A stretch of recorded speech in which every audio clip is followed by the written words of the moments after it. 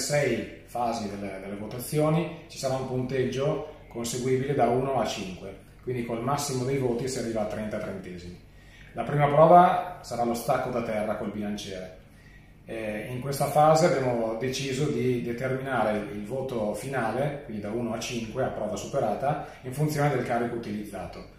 Per gli uomini si partirà col bilanciere più bumper ehm, con un totale di 35 kg, a prova superata di 10 ripetizioni per ogni eh, prova, eh, si raggiungerà il punteggio di 1.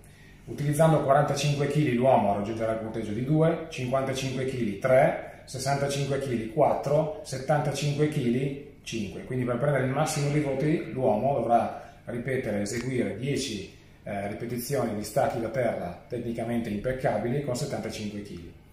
Per le ragazze i carichi partiranno da 20 con step di 5, quindi 20 kg 1, 25 kg prova superata 2, 30 kg 3, 35 kg 4, 40 kg 5.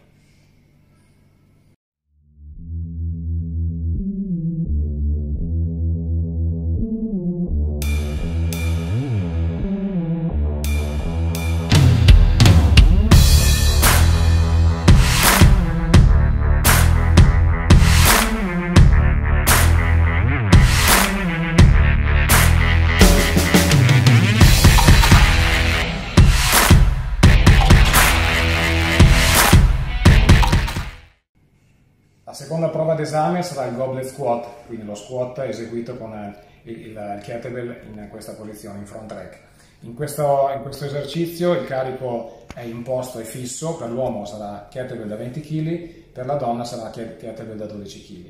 Le ripetizioni da eseguire saranno sempre 10 e il docente di turno dovrà valutare l'esecuzione tecnica dell'esercizio, quindi la, la, profondità del gesto piuttosto quanto l'esplosività e il mantenimento delle curve.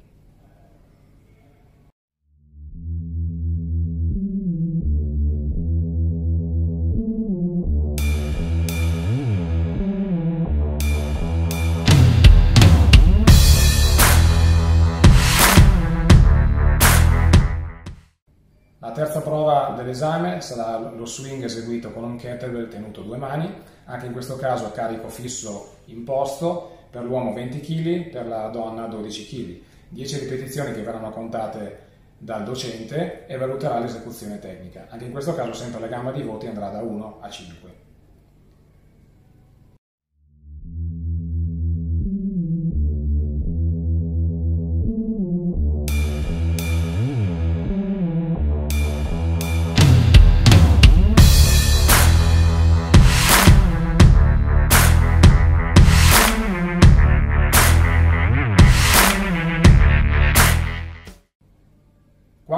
D'esame, push press eseguito col bilanciere. Per l'uomo il totale saranno 40 kg compreso il bilanciere, per le donne 20 kg. In questo caso eh, verranno richieste solo 5 ripetizioni.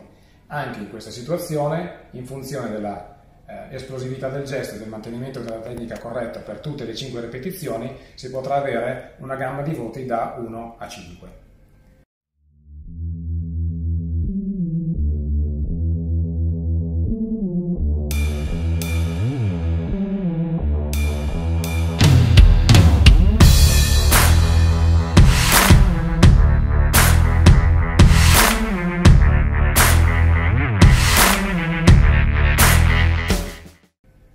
L'ultima prova d'esame saranno i push-up a corpo libero, rigorosamente per tutti con partenza gomiti estesi, ginocchia estese, non con le ginocchia appoggiate a terra.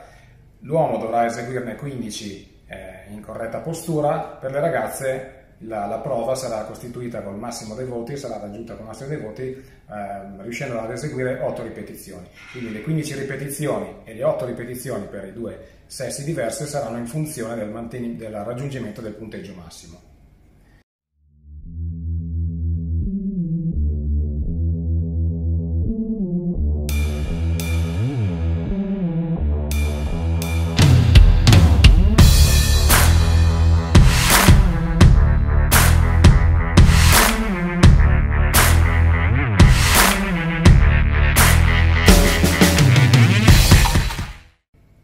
L'ultima voce, come dicevo prima, mobilità globale, sarà un voto che appunto cercherà di comprendere un po' sia la performance sia la mobilità e quindi la, la, la capacità di mantenere tecnicamente corretta l'esecuzione di tutti i gesti che sono stati spiegati nel weekend.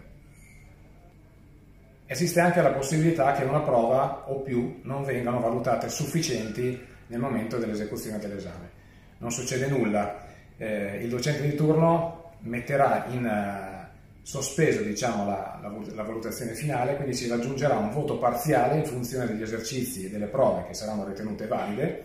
Per le prove che eventualmente non saranno state ritenute idonee nel momento dell'esecuzione dell'esame, eh, verrà richiesto un video eh, consiglio sempre di lasciar passare almeno 20-30 giorni dalla fine dell'esame, entro 60 giorni dalla fine dell'esame, da inviare al docente che poi lo valuterà e insieme si deciderà se appunto l'esecuzione del video sarà ritenuta corretta piuttosto che eh, la necessità di inviarne un altro. Nei video è molto importante che eh, sia specificato sia eh, facilmente individuabile il carico utilizzato. Grazie ragazzi, vi aspetto ai prossimi nostri corsi di formazione.